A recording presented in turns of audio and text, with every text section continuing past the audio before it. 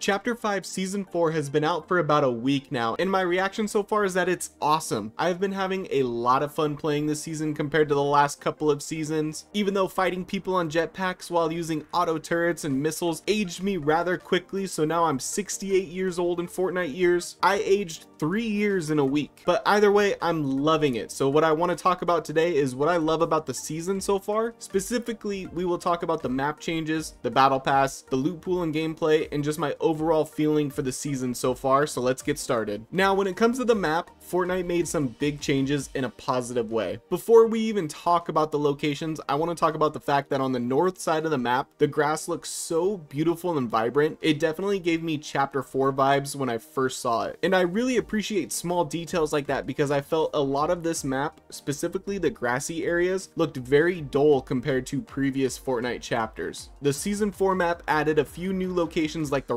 which is based off the super maximum security prison for superpowered villains or criminals in the Marvel Comics. Now, when you head toward the north side of the map, this is where you see most of the map changes. For starters, there are a couple of fun Easter eggs, which is a dead Galactus sticking out of the water, and the Fantastic Four logo outside of Doomstadt. And speaking of Doomstadt, this is probably my favorite new location on the map. It gives me Misty Meadows vibes a little bit, but it's in the image of Doctor Doom's Perfect Society with little Easter eggs in the town, like security cameras in the houses, posters telling them to pick up their garbage, and even his own ice cream. Another fun Easter egg is in the basement of this house is a room dedicated to Iron Man, so it's clear not everybody in Doomstadt is loving Doctor Doom's dictatorship. Classy Courts got a makeover this season and is now called Doom's Courtyard. The main building at this location didn't change much, but I am a little sad that the courts are gone. And the biggest map change is Doom's Castle. I love having a huge castle on the map, and because of this new location, a lot of the snow in this area has melted. Doom's Castle is filled with Easter eggs, which includes trophies of the different Marvel heroes and villains that he has eliminated. Overall, all of these new locations are nice to look at, have a good amount of loot. It made this map way better in my opinion, so this map gets an 8 out of 10 for me. Moving on to the battle pass, I gotta say that I'm definitely not disappointed with this one. I always get a little nervous when they release Marvel skins because I'm a huge Marvel Comics fan, and I always want the characters to be represented well in the game. In Fortnite, once again, did not let me down. I don't know what it is about Marvel skins, but they rarely, and I mean rarely miss. This battle pass is full of bangers like War Machine, Shuri, and Mysterio. Emma Frost is a baddie, and if you want to see my rankings on all of the skins, you can go to my channel and watch that video after this one. Also, the link will be in the description along with my battle pass reaction video. As far as each skin in the battle pass, I think they did a great job. Even with the remix skins like Captain Jonesy and Peelverine, they look great, but I still wish they weren't in the pass.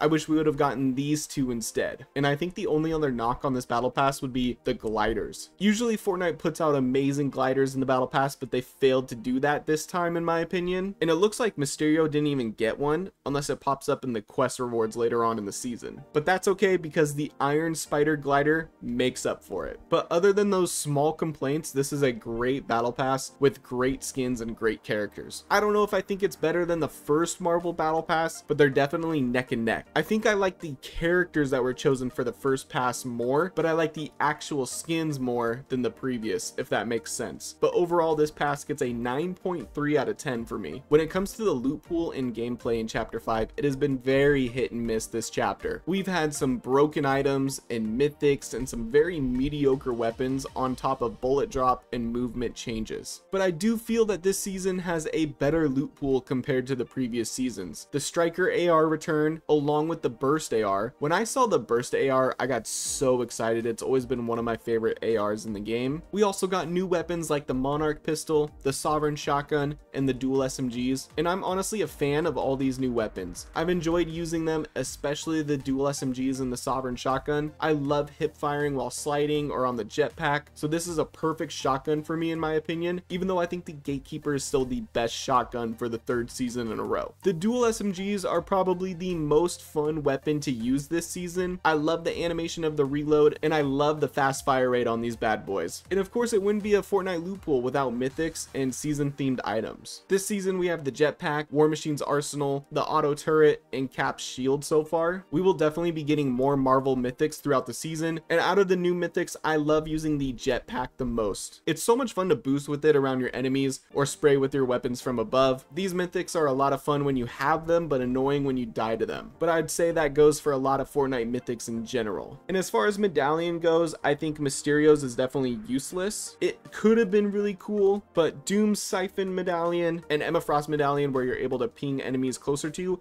I think are useful and are good medallions. But this has probably been my favorite loot pool this chapter. Now just bring back hit scan because reload reminded me how much better hit scan is for Fortnite. But overall, I give this loot pool an 8 out of 10 so far. I think we're just missing some counters for some of the Marvel mythics right now, like a sniper or the DMR would have been perfect for this season. I think this season is off to a good start and I really hope it stays that way over the next couple of months because we all know as a Fortnite community, we go through this cycle every season where we love it in the beginning, then we get bored, then we start to hate it, then we get excited for the next season. It's an endless cycle. So hopefully Fortnite keeps this season fresh and exciting and I'm really hoping for an awesome event at the end of the season. But overall, I'm having a great time and I'm definitely going to continue playing. But if you enjoyed this video, be sure to drop a like, subscribe to the channel, and use code TuneSpider in the item shop to support me, and have a great rest of your day.